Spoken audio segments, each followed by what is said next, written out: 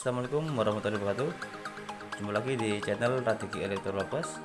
Oke kali ini saya ada satu power supply bekas DVD player ya.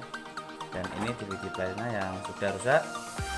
Dan setelah saya cek ternyata power supply nya masih bagus. Jadi akan saya manfaatkan. Yang pertama untuk mensuplai power mini.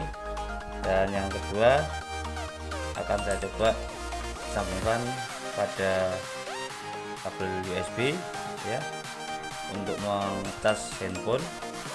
Karena di sini ada dua tegangan output yaitu 12 volt dan juga 5 volt. Yang 12 volt kita coba mensuplai power mini dan yang 5 volt kita sambungkan pada USB untuk mengecas handphone ya. Kita manfaatkan power supply ini agar bisa berguna ya. Oke, kita coba sudah saya siapkan di sini kabel. Input DC untuk mensuplai power mini ya. Langsung kita solder pada bagian pin yang 12 volt ya.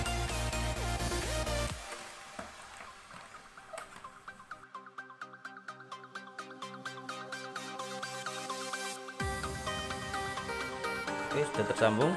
Sekarang tinggal kita sambungkan yang USB ya. Pada pada pin yang 5 volt. Oke.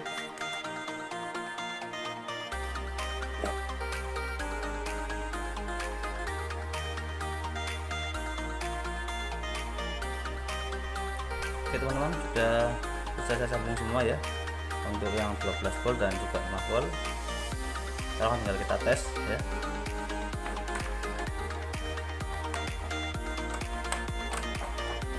ini kita sambungkan water power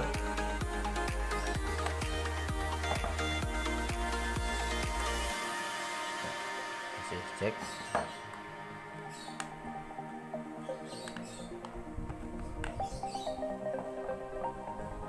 Ya, sekarang kita colokkan power supply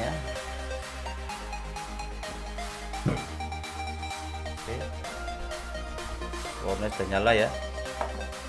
Kita coba yang output 5 volt. Untuk mengecas handphone apakah masih bisa?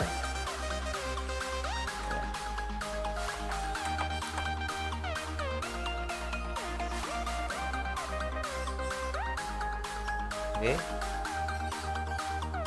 Sudah masuk ya.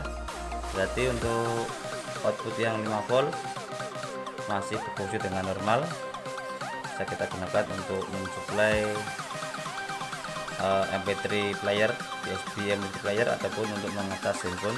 Juga bisa. Tergantung keperluan teman-teman ya. Sekarang kita coba untuk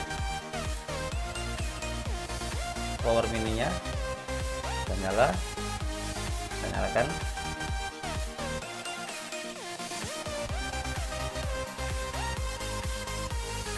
kita mainkan musik. Putar tensinya. Ya, mantap ya sip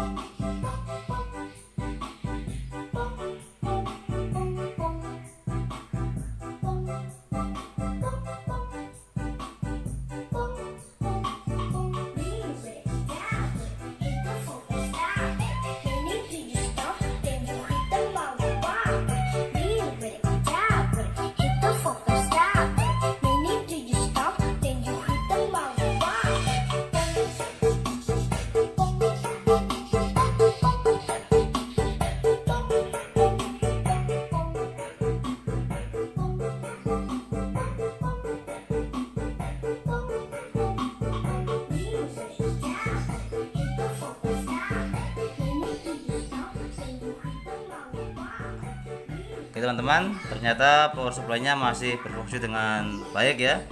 Jadi bisa kita manfaatkan untuk mensuplai power mini yang membutuhkan tegangan 5 volt ataupun 12 volt ya. Jadi daripada kita buang lumayan buat keperluan yang lain yang bisa kita manfaatkan. Oke. Kalau ada pertanyaan silahkan tulis di kolom komentar ya. Jangan lupa di like, share dan subscribe agar tidak ketinggalan video-video menarik dari channel saya. Terima kasih. Assalamualaikum warahmatullahi wabarakatuh.